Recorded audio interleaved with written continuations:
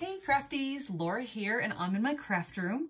Since many of us have a bit more time than usual while social distancing, I thought this would be a perfect time to show how to create an easy circuit and to light up and add sparkle to your cards and projects. Uh, real similar to this one I did here with the press switch. And then we'll have, I don't know, three or four uh, extra lights on our card. So I made this silhouette card front with a galaxy night sky showing a kid pointing up at at the sky. And well, I think it's fine. It's it's pretty. It's sparkly. It says you inspire me. I thought I need to make it a bit extra. It needs some bright stars showing up behind it. So I'm going to be showing you how today. Uh, and it's going to be easy and I promise you can do this at home. Uh, if you also want to know how to create this card front, uh, click below to see the tutorial on my blog.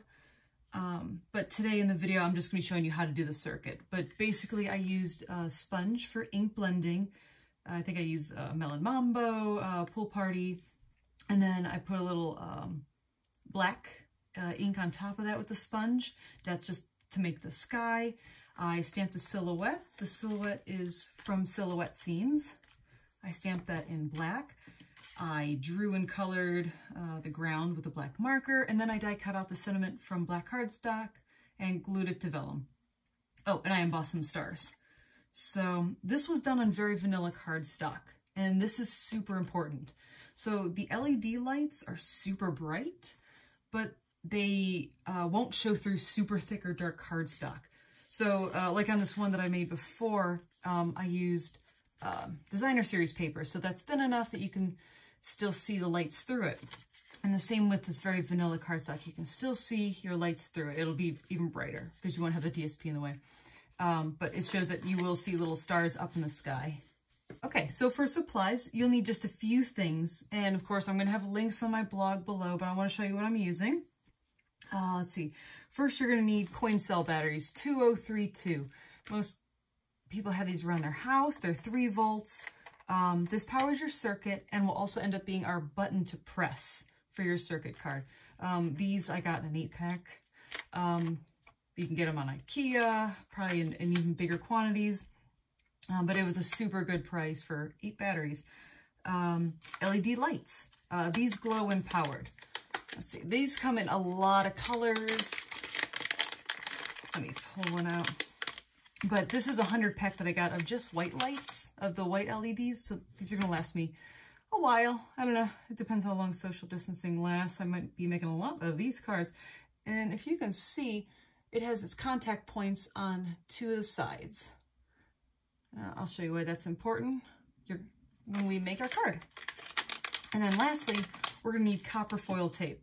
This conducts the electricity from your battery to light up your LED lights. It forms a circuit. And it's also adhesive on the back. So this circuit could not be easier to make and it could be easier to make a light up card.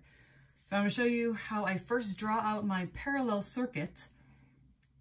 Trust me, it's not as, as hard as it sounds. And then we're going to add our supplies and we're going to create that nice night sky with stars in the background. So drawing out your parallel circuit, you're gonna first wanna pick where you want your battery and switch. So for me, I think it's gonna be where the kid's hand is. It's kind of like a ET, might be a good spot. So let's see, let's just, you just gotta eyeball it. it doesn't need to be perfect. It's a big area. Uh, I always make a little battery house.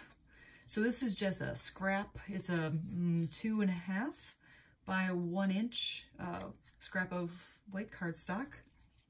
And you can see inside I drew already uh, positive and negative.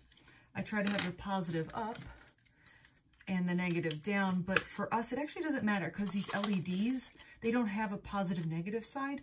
If they did, you'd want all the positives on one side of your track, but we don't need to worry about that today. But I'm just going to adhere this little house down. This is where our battery is going to live.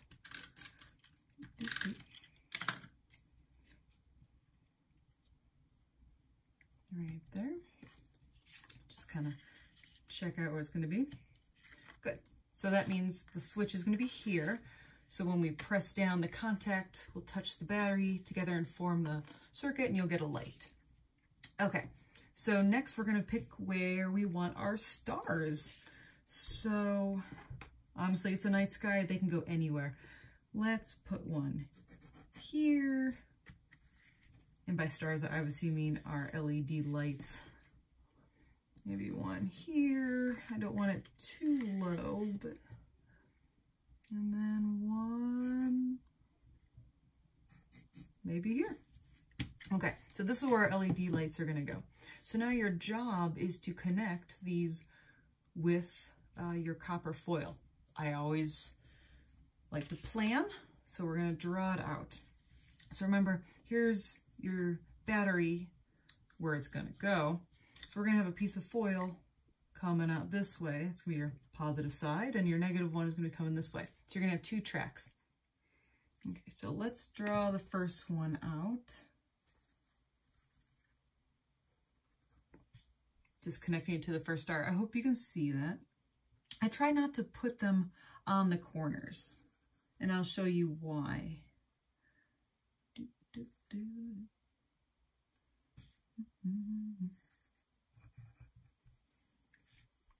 Okay, so this is where our track is going to end.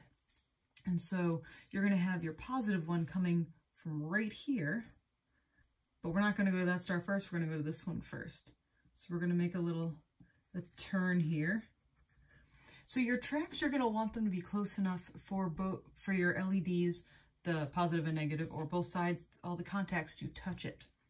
So just when you're drawing it, it's not super important, but you know, you're going to want them to be fairly close to each other. See that? And it's going to end at this LED here. That'll form a complete circuit though, so that when it comes back and you touch your contact to the battery, it's going to light up. Now, if you want more, obviously just continue the track around. I could. Nah, you know what? Three is enough for, for one car for me. All right. So now let's get the electricity flowing. All right, so we're going to take our copper foil tape and in a continuous piece over our tracks, we're going to lay down. Okay, so it has to be continuous. It just helps really with the electricity uh, to have a, a nice flow. So it is adhesive on the back, so it makes it super easy. I just kind of unroll a bit. I start at the one side. Make sure it touches where you think your battery is going to go. All right, so at your corners, uh, like I said, you want it to be a continuous piece. So at your corners, what we're going to do, if there's any quilters out there, you know how to do the mitered corner. But if not, I'm going to show you real quick. We're going to fold it back on itself so that you have your sticky side up. We're going to flip it and kind of turn it so it's a 45 degree mitered corner. See how pretty that looks? Flatten straight out to the next corner. Fold it back, sticky side up. Get a little more tape out. Turn it at the 90 degree mitered corner. Yeah, it wasn't perfect, but still a continuous piece of copper. We're not making a quilt here, and beautiful thing. No one's going to see the under half. So as long as the electricity flows, it's all that matters. And then for our last one, flip it up 90 degrees.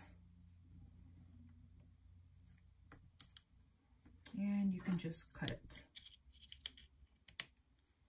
There we go. That's our first track of copper.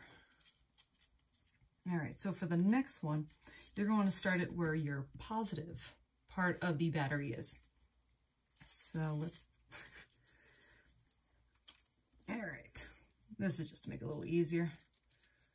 There we go. Start your tape right where the positive of the battery is going to be. Stick it on down and make sure that they do touch underneath when you close it up because again that's going to be your switch put it over the house. And here, I'm gonna make it into a corner.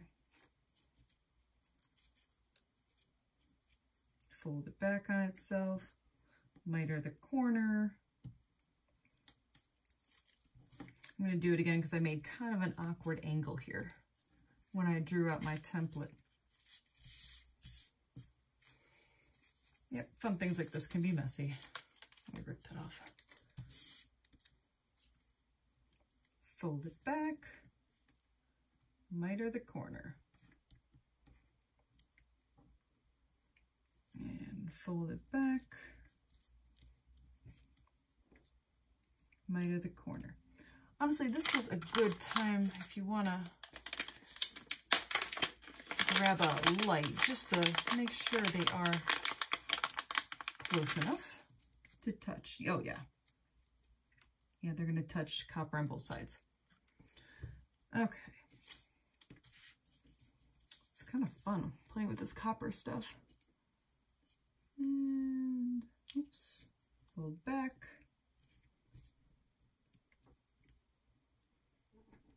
And miter the corner.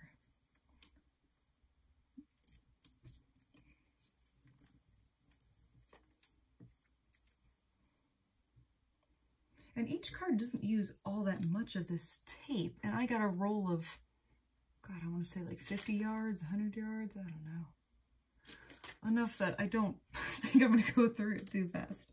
All right, there we go. Fold back, turn the corner. Hmm. Try not to rip it, because Laura is messy.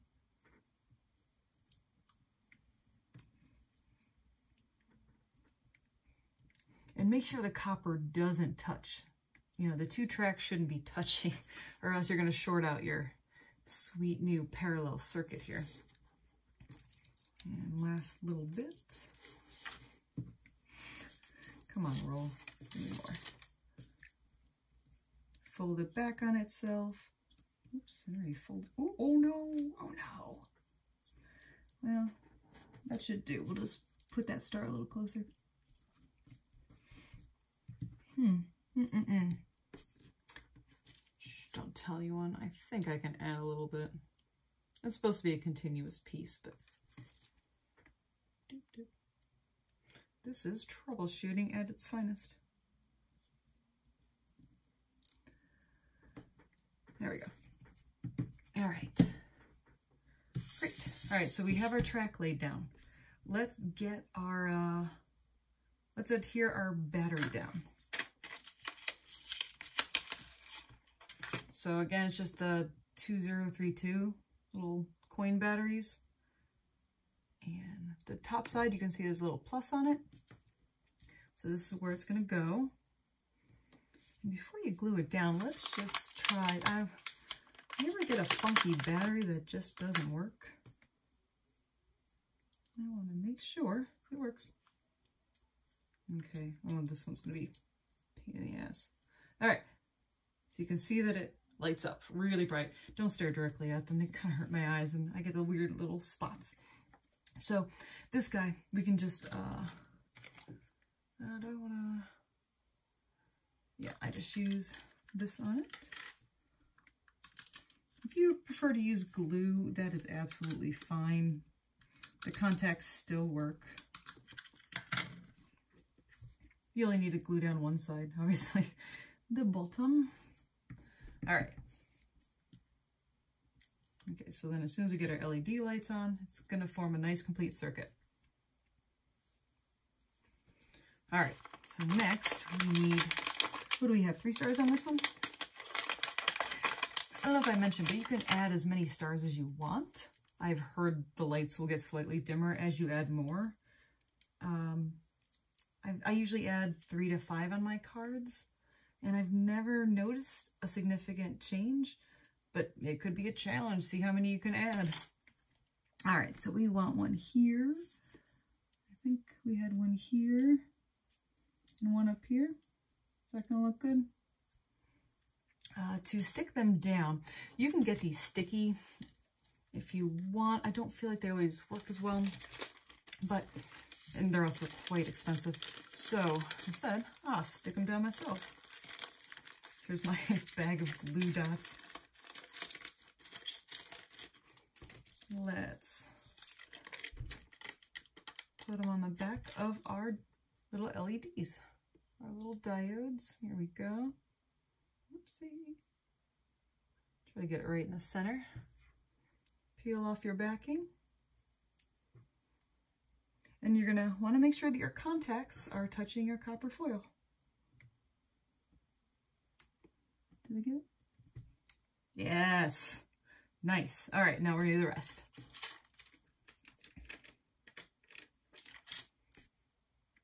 All right, that one's not even adhered down.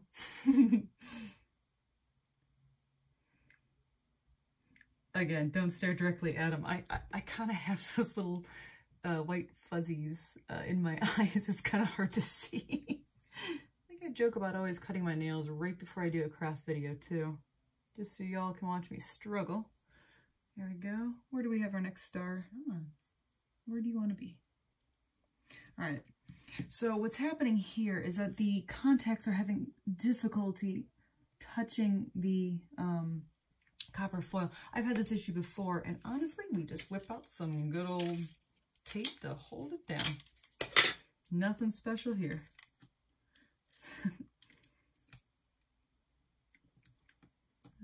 there we go. So it, it has a glue dot on the one side, and I just put a little tape on top. We don't want that sticking over the edge, so. Okay, third light. Oof, can't see anything. I want this like on video. All right, last LED. Unless, of course, you're putting four, five, six on your card.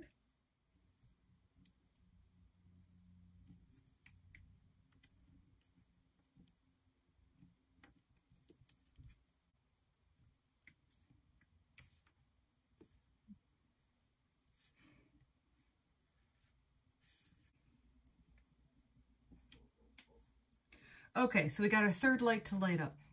What you were seeing before, I think, was a big part of discontinuing that piece of copper foil, the one that ripped on accident. So all I did was add it to a different part of the night sky. Lastly, with our night sky, we want to add our card front to our card. So we're going to be using some foil strips with this. You've probably seen me use these before for cards that are a little taller than others. So they're just strips from Stampin' Up! of foam adhesive. See? And all I do is take one off. Yeah, don't let it stick to your fingers. I'm going to put it along the bottom.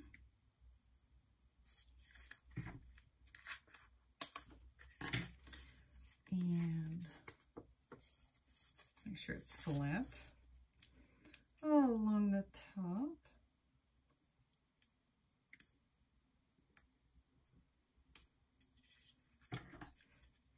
But you also don't want to get in the way of your copper foil. So over here, I am going to just stick it down here uh, on the top and bottom, leaving room for where the battery is. So what side is that? This side. bottom.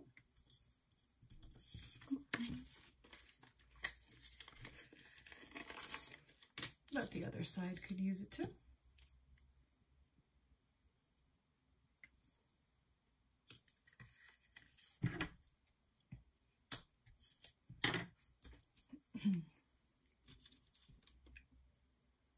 and just a little tiddlywink at the top. Okay. All right, we have our card front. All three batteries, or I'm sorry, all three LEDs are lighting.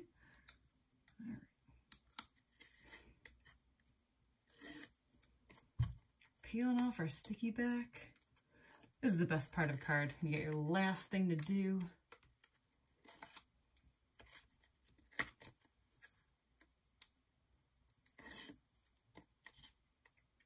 You see all your hard work making something cool.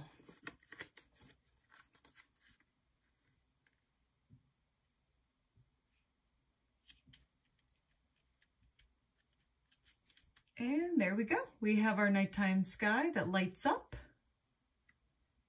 with our easy parallel circuit. So I hope you subscribe and you check back at Laura's Craft Closet for lots of paper crafting and stamping tips, tutorials, and fun. Happy crafting!